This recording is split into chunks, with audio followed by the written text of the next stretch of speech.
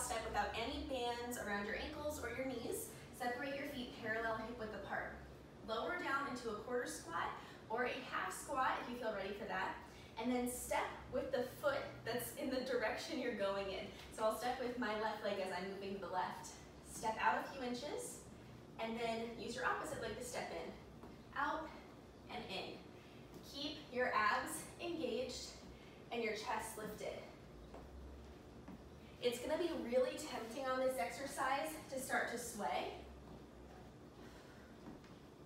Don't let yourself do that. So keep everything really controlled, really tight, abs in as you walk.